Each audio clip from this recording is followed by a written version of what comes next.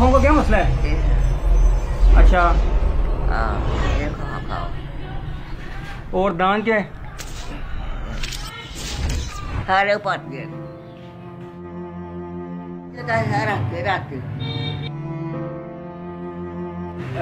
ان کا کہنا ہے کہ کھایا بھی کچھ نہیں جاتا۔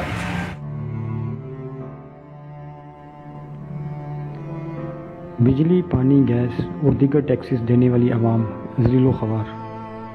ذمہ داروں نے ساری زندگی عوام کا مال کھایا، اقدار کے مزے لیے اور صحیح معنوں میں ووٹ کی کسی نے عزت نہ کی۔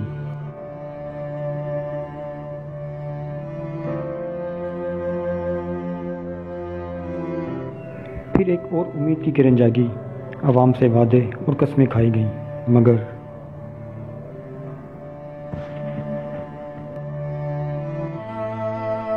عوام کو ان سے پہلے کی طرح کیا ملا؟ کچھ بھی تو نہیں۔ یہ بھی بھول گئے انہیں جو بھوک سے لڑتے لڑتے مر جاتے ہیں۔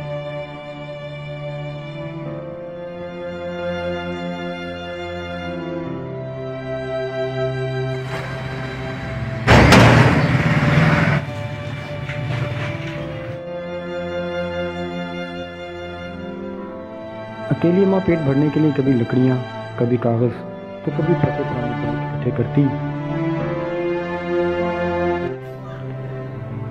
کام کے ہاتھوں میں بلیڈ پکڑے، اپنی اکیلی زندگی کے لیے کوشش کرتی دکھائی دیتی ہیں۔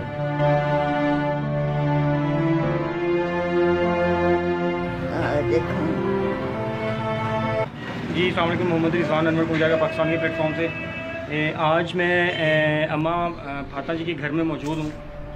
اور اماں جی کا جو جب گھر دیکھا تو دکھ یہ ہو رہا ہے کہ اماں جی اس معاشرے کے اندر جہاں ہم جیسے بہت سارے لوگ ہوئے ہیں جنہیں اللہ تعالیٰ نے بہت کچھ دیا ہوا ہے۔ ان کے ہوتے ہوئے بھی اماں جان جو ہے جیسا کہ میں نے پہلے ذکر کیا تھا کہ اماں جان روڈ پہ سے سوکھی لکڑیاں جو ہے وہ چنتی ہیں اور اس کے ساتھ ساتھ آج مجھے جو پتہ چلا، وہ یہ پتہ چلا کہ اماں جان جو ہے، یہ جو گتے جو ہیں یہ بھی اٹھا کے، لا کے اور پھر ان کو سیل کر کے اپنا جو ہے گزر بسر کرتی ہیں۔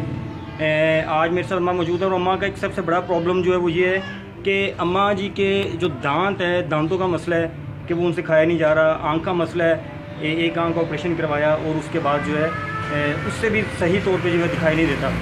تو اماں سے بات کرنے کی کوشش کرتے ہیں۔ ہمارے جان بولتے بھی کم ہے بات آواز یا الفاظ سمجھ بھی نہیں آتے۔ تو بات کرتے ہیں۔ جی السلام علیکم۔ آنکھوں کا کیا مسئلہ ہے؟ اچھا۔ اور دان کیا ہے؟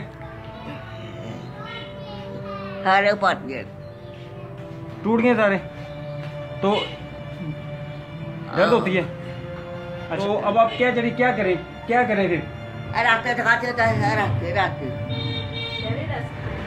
اچھا ان کا کہنا ہے کہ کھایا بھی کچھ نہیں جاتا اور اگر کچھ چیز کھائی جاتی ہے تو وہ نرم سافٹ سافٹ غذا جو ہے رس جو ہے وہ کھا کے گزارا کرتی ہیں اور ان کی سب سے خوبصورت بات یہ ہے کہ ویسے تو ارد گرد میں بہت سارے اچھے لوگ ہیں جو ان کا خیال کرتے رہے کھانے کا، پینے کا۔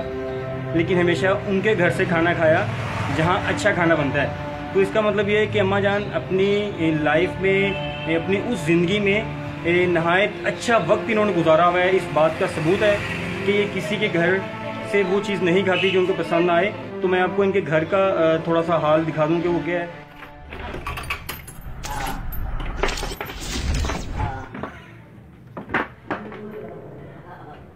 کمرے کے اندر پڑی ایک چارپائی، چند پرانے صندوق، ایک کھڑکی، جس سے روشنی اور امید کی کرن شاید کبھی آتی یا کبھی بادلوں کے پیچھے چھپ جاتی۔ یہ ہماری ذمہ داری ہے۔ ہمارے ساتھ ساتھ سب سے پہلے جو ہے وہ حکومت کی ذمہ داری ہے کہ وہ ایسے لوگ جو کسی کے آگے ہاتھ نہیں پھیلاتے، ان کا خیال کریں ان کے کھانے کا، پینے کا، رہنے کا ان کی بیماری کا خاص طور پہ جو ان کا خیال کریں تاکہ ان کے اس عمر میں جو ہے ان کی ضروریات جو ہیں وہ پوری کی جا سکے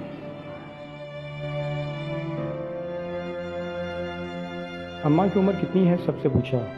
سارے لوگوں نے ایک ہی جواب دیا کہ جوانی سے بڑھاپے تک ایسا ہی دیکھا۔ اگر ایسے ہی دیکھا تو کیا اماں اپنی بکیہ زندگی دھندلی آنکھیں لیے لکڑیاں اور کاغذ چھونتے ہی گزار دیں گی کیا؟